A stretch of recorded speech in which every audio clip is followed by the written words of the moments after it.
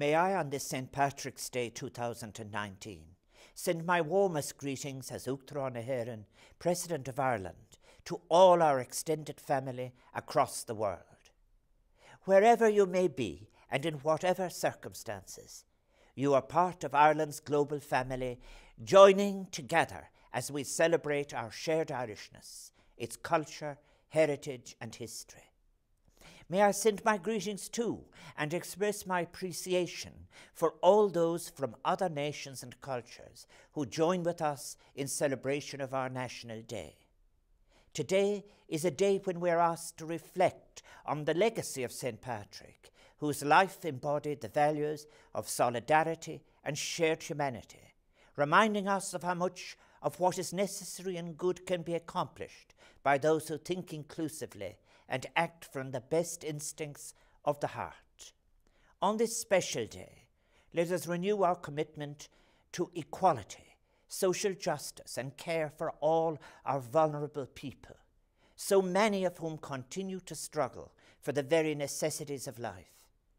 In recent years, St. Patrick's Day has been marked by the greening of iconic buildings here in Ireland, including, of course, Áras an Uachtaráin, and across the globe. The colour green is, of course, strongly associated with our National Saints' Day and with Ireland's history and our struggle for independence. Today, the word green has now become profoundly linked to the protection of our environment and the challenges we face in preserving the planet for our own and future generations.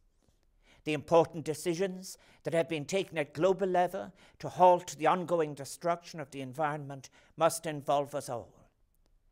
It is critical that we become ever more aware of the importance of changing our lifestyles so that we can help reduce the negative impacts on the environment of our actions. It is important that we embrace our responsibilities as global citizens and play our own personal and essential role in saving our planet and our environment. The success of those significant and crucial decisions taken by governments in 2015 does depend in so many ways on each and every one of us making our daily contributions to the creation of a cleaner, safer, and better world.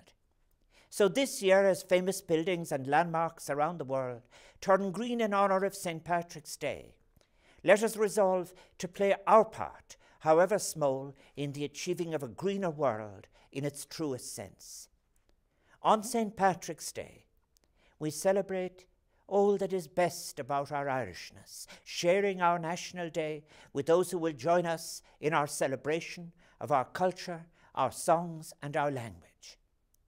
As we connect to our wider Irish family and to the many friends of Ireland who celebrate with us, let us also resolve to embrace all of our responsibilities as global citizens and to work with fellow citizens across all continents for a better, more equal and sustainable world. A world that with all our efforts can reject violence in all its forms, that recognises continuing global poverty, exploitation, and exclusion from the fulfillment of societies and persons as a continuing failure on the part of humanity. May I wish all those who share this island, be they Irish people by birth or descent, or those who have a connection with Ireland, wherever they may be in the world, and all those fellow global citizens who are friends of Ireland, a happy and peaceful St. Patrick's Day. Beir beannacht.